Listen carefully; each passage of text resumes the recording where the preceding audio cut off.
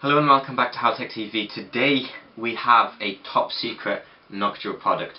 It's not even got a uh, sort of a big box and packaging because it is that um, sort of off the line brand new. So yes, I've been sent a sample by Noctua. It's a little, uh, like I keep saying, top secret product. You know, unreleased to the market yet. Nobody even knows about it um, except a few of us. So yeah, let's get into it. And this is uh, our new um, sort of unreleased product to have a little look at. So here we have the little box and um, I can't really sort of give you too much information uh, to start with because I don't really know that much about it. Uh, I've just been sent it to um, have a look at. So let's, let's open it up and see what we have. So there we have it. It is a new fan by Noctua. Um, that's all I can show you about this fan. It's it's very uh, like high end and top secret, and it's uh, it's probably going to be the smallest fan that they ever make or bring to market.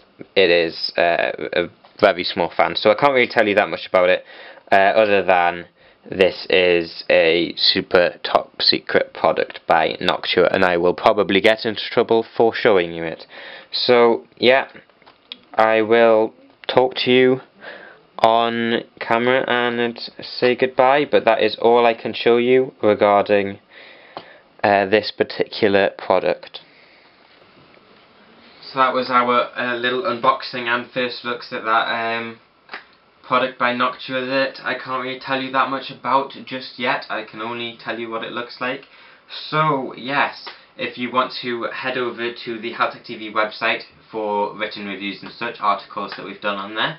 Uh, the links are down in the description box below. There's a lot of content there that you won't find anywhere else on the Haltech TV network. If you want to contact me for any reason whatsoever, use the specific email addresses down in the description um, and it's, you know, try and use the right one. Uh, so you can contact me for any reasons, whether it be questions, review requests, just general inquiries, or for business. Uh, there's email addresses for all of them. So yeah, uh, also don't forget to like the Facebook page and like the Hal Thompson Facebook page because there's content on there that's tech related but not Hal Tech TV related and also you get to see sort of behind the scenes stuff of what we do here at Hal Tech TV. So, other than that, I'm Hal Thompson. This has been another Haltech TV video. Don't forget to subscribe, do everything I've just asked you to do, and goodbye.